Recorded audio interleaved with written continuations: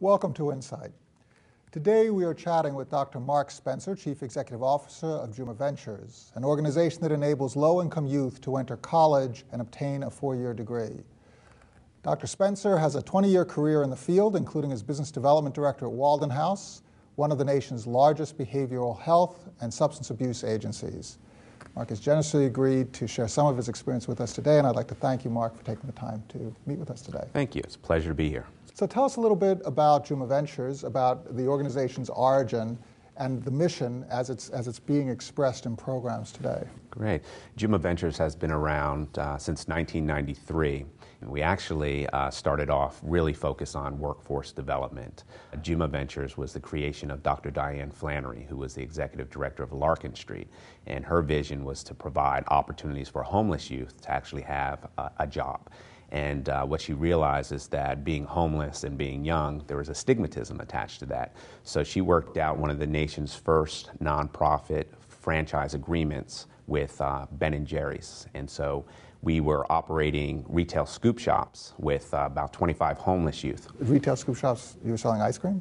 Yes. And we did this for uh, numerous years until um, we found that the business itself was not sustainable. It required heavy subsidies, and we were fortunate that we had uh, George Roberts from KKR that had just put together a uh, philanthropic arm called REDF, which was looking to uh, develop social enterprises. After seven years, we decided that uh, we wanted to see more impact in terms of the work that we were doing on the workforce development side of things, as well as um, having an opportunity to serve more youth. So we were working with 25 homeless youth, uh, and, and, and the business was actually um, losing a lot of money. We brought in some interns from a business school that looked at another uh, venture inside of sports stadiums, uh, where we're currently operating vending and concession operations in seven stadiums two here in San Francisco, three in Oakland, and two down in San Diego. The program has changed from just being a workforce development agency into being a very comprehensive program where we're employing uh, young people in these enterprises, but when they're not working or in school, they come to our offices for supportive services, all geared towards uh, accessing higher education and, and, degree attainment. So you start off with 25 youth in uh, serving ice cream. You now, years later, have a different structure. Um, you're, you're still focused on ventures, but you're also focused on education. How many youth are currently part of your programs? Annually, we're serving about 175 young people. Uh, we recruit young people that are coming into their junior year of high school, and it's a four year model, so we work with them through the promotion of their uh, sophomore year in college. If these youth were not part of this program, what, what would their trajectory uh, be? And, and why would their uh, trajectory necessarily be um, along uh, particular lines? We target um, low income, potential first generation college going youth primarily youth of color.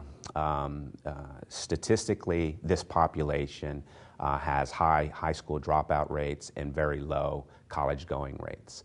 Uh, so, to answer your question, uh, the vast majority of these youth would not be entering and completing college degrees. And if they didn't have college degrees, what, what does that actually mean to their lives? There's a big debate going on in this country in terms of whether a college degree actually does make a significant difference. Well, our, our mission is to help our young people uh, navigate from poverty to prosperity. And the research shows that um, having a college education actually quadruples the likelihood of you earning uh, above uh, um, a poverty level income. And so uh, our focus is to help them understand uh, the importance of an education as it relates to a career. Is this about um, creating an opportunity, or is this about uh, adding resource to an individual's life?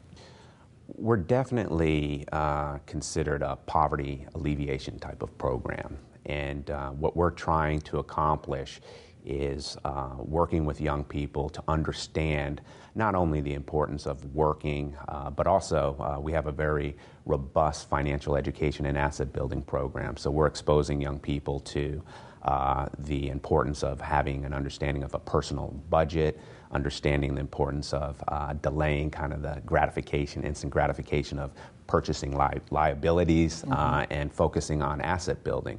Uh, we've opened up bank accounts for over 700 of our participants. They've saved close to a million dollars uh, in this special fund called an individual development account. It's an incentivized match savings program where for every dollar they put in, we match it with $2. And then we complement that with all the um, services around um, understanding about time management, planning, and uh, the other kind of skills for success that you need for um, life and that you need for uh, college success. And by focusing on youth, uh, is, is your hope that, that these youth will then, when they have families of their own and, and uh, for their, their families, that they will help to promulgate that sensibility?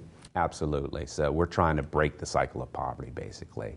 And um, by instilling in them a skill set and an understanding of the importance of you know being work ready, the importance of you know uh, seeing learning as a lifelong adventure. Um, and, um, and in many ways, we're a social justice agency, so we're encouraging our young people to give back to their communities and, and see the value in doing that. Do your young people also give back to Juma in terms of being mentors and, and coming in and, and uh, encouraging others in, in acquiring these skills? They do. Um, several of our college going youth actually come back and, and serve as tutors. We have uh, a Juma alum on our board. Uh, we have some staff that are actually former participants. So we do our best to include them in the growth and development of the agency because, in our opinion, they know what success looks like and they can help us, you know, make design changes um, as needed. Now, when you go to, uh, to funders, whether they're institutional funders, uh, foundations, um, business um, uh, philanthropies, or individuals, um, and you talk about the value proposition of investing um, philanthropic dollars into Juma, uh, what is the distinguishing characteristic um, as opposed to other organizations that also encourage people to uh, go to four-year colleges and, and provide the type of support?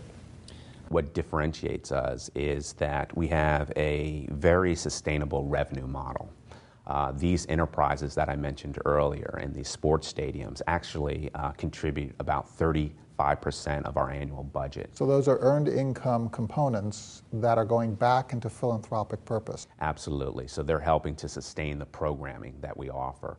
Uh, they're not quite break even, but the loss is, is minimal in terms of the opportunity that these businesses are providing for the young people. In addition to that, our track record in terms of uh, success in entering college is about 90% over the last three years. So investors are really seeing, one, from the sustainability side, that this revenue model is attractive, and two, the impact in terms of where the youth are actually going and the success they're having is, is, is, is important. So you have a number of different, uh, different arguments there. First, is for every dollar spent, you're actually getting a dollar thirty worth of impact because a dollar is spent, you're, you're returning a third of your budget back through the enterprises. So there's a leveraged impact. Um, then there's a societal transformation. You're having an impact on individuals.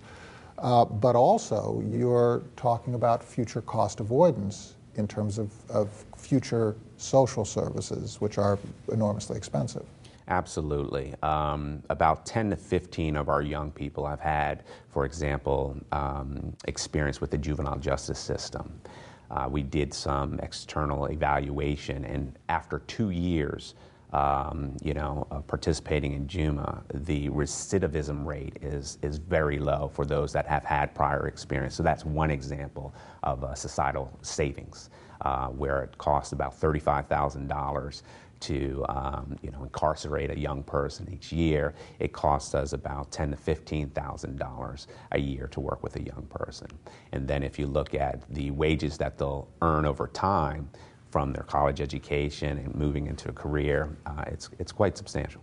Could you talk a little bit about how you got into serving uh, this social justice cause. Why this? Why social justice? Why youth? It's a great question. I've had 20 years of involvement in working with the youth population. Uh, my, my career actually started as a high school teacher. I helped to develop an independent African American private school here in San Francisco. And then I went on to uh, the University of San Francisco's Upward Bound program, again, working with uh, youth from low income, potentially uh, the first in their families to go to college. So I'm very passionate about doing that type of work because I've seen uh, the impact that the work can have on, on the individual level and on the community level. So, when you invest your career in this type of activity, you're investing in someone else's life.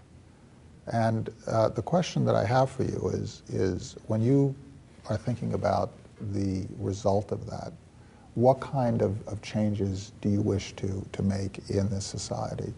Uh, through your, your personal investment, your personal bet of, of, of your own time, which is irreplaceable? Mm-hmm. Well, I always feel that the only thing truly stopping social change is the will for it. Um, is it the will of the individual, the will of society? Are there? I think it starts with the individual and moves up through the society. Um, and you know, my personal um, time and energy that I spend on this, the the hope is that uh, my immediate community will see the impact of, of my work. So I live in West Oakland, for example, a very impoverished uh, community.